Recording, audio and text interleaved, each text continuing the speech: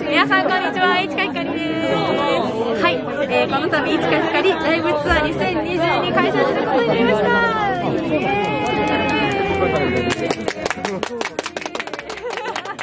はい、ということで、えー、こだまする世界というタイトルになっております。えー10月2日、in 名古屋今池グロー、えー10月9日、in 仙台。誰も知らない劇場、10月16日、大阪フラッシュインホールビレモアで開催予定ですので、ぜひ皆さんお越しいただけたら嬉しいです。